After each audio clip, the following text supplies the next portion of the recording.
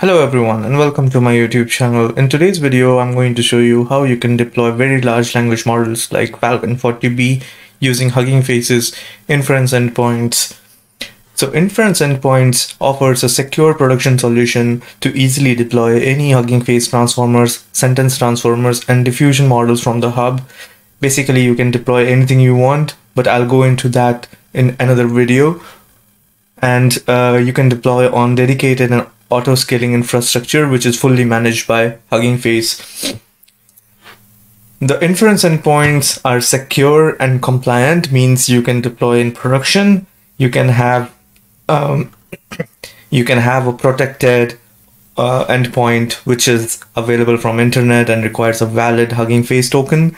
Uh, you can also deploy a private endpoint that is only available through an intra-region secured AWS or Azure private link connection and private endpoints are not accessible from the internet. And obviously, you can deploy public endpoints that you can play with, uh, or just protected endpoint that you can play with at home, um, or build some really nice, cool projects around it. So uh, let's get started. Uh, all you have to do is you have to go to your Hugging Face page, log in, click on solutions, and then there you go. Inference endpoints. So this is my inference endpoints page. I hope you can see.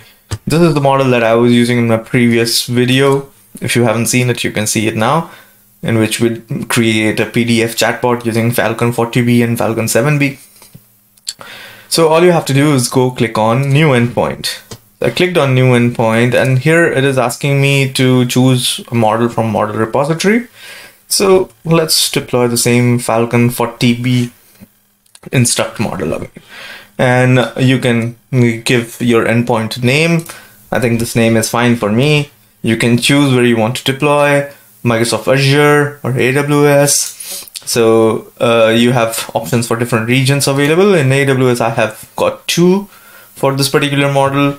I have got a bunch of instances on which I can deploy. I can also deploy on a NVIDIA A100 GPU or 4X NVIDIA Tesla T4 and uh, basically here we are done but you also have advanced configuration in which you can specify auto scaling feature. The task task has already been selected based on the model which is a text generation task and we are fine with it. You, we are running the model with a pytorch framework. We can also define a revision for the repository that we have chosen but in this case we don't have to do that. Uh, we can scale to zero so after 15 minutes of no activity, it will automatically pause your endpoint. And when there is a new request in the endpoint, it will initialize a new replica. Um, so you don't pay if your endpoint is not being used.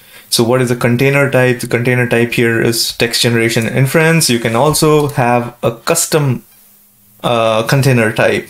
So if you have built your own container and you put it on Docker Hub, ECR, ACR, or GCR, you can just uh, uh, put the URL here with all the credentials and we'll download the container for you. So here in our case, text generation inference is fine. We can use int8 quantization and custom CUDA kernels. Endpoint security level. Now, if I choose a protected endpoint, I have to uh, use my Hugging Face token for authentication. If I choose a public endpoint, there is no authentication. I can also choose a private endpoint. And for private endpoint, which is not connected to internet, I have to input my AWS account ID so, since I'm deploying on AWS. But we'll go for the very simple approach just for the sake of this video, but do feel free to try all the other kinds of security level. Uh, protected should be generally used and private is for enterprises. Protected can also be used by enterprises. It's protected.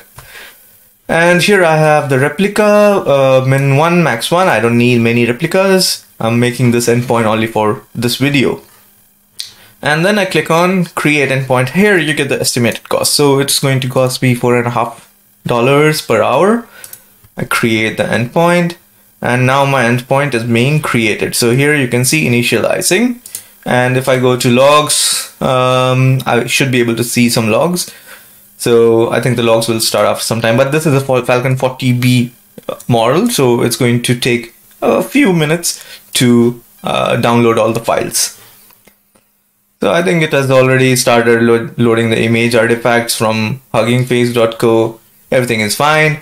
So here you also have docs. So if you click on docs, you you have like auto scaling, you have pricing, you have the API inference if you want to build something custom on top of it. Access access accessing the solution, creating your first endpoint. I've already shown you how simple and easy it is. It's just like one click deployment. And pause your and resume your endpoint. So when once you have created your endpoint, uh, there will be a pause button here uh, using which you can pause. So if I go back to go back here to the previous endpoint that I created, so it says my endpoint has been paused, and when it's paused, you are not paying anything. So if you if if if you're building something for small demos, it's very useful. You can just pause it and you can just resume it whenever you want. So let's go back and right now it's in the initializing mode. So we have to wait a few seconds and once it's done, we will be able to use it.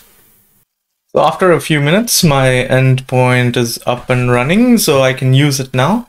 So it gives you the endpoint URL and all the other details which you had previously. You can also test your endpoint here.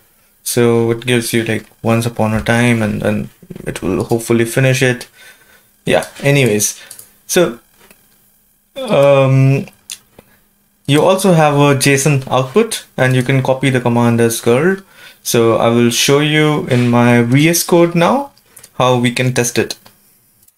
So here I'm in my VS Code and we have the curl command that I just copy pasted from there.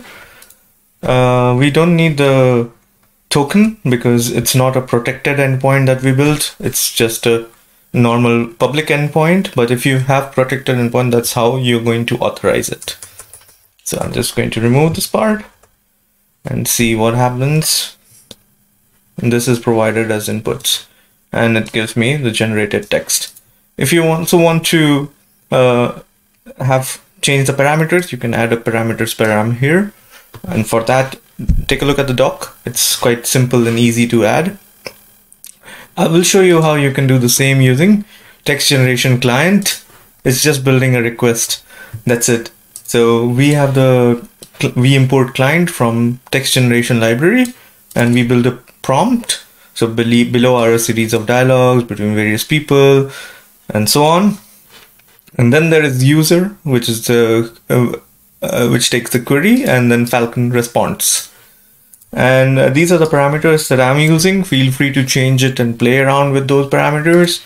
And then we initialize the client. And here you input the URL of the inference endpoint. Quite simple and easy.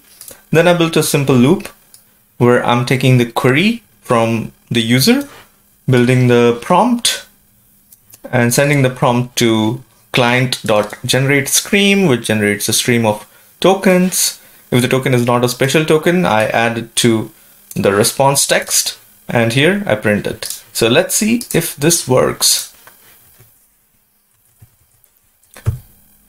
Um, endpoint.py, so it's saying query. So I will say, hi Falcon, how are you? Let's see what the response is. Hey, good morning, okay, I'm well, blah, blah, blah seems good. Can you write code to read a CSV file in Python without pandas? Let's see if we can do that. So it has given me some response. Um, of course, here's a sample code, Python standard CSV library with open data.c import CSV uh, with open CSV reader. Okay, it looks fine to me. I'm not going to test it. And uh, it also quotes as Python. So anyways, this is a video. This is how simple and easy it is to deploy any large language model using Hugging Face's inference endpoints. I hope you give it a try. If you like the video, do click on the like button, do subscribe and share the video with your friends. See you in the next one. Bye bye.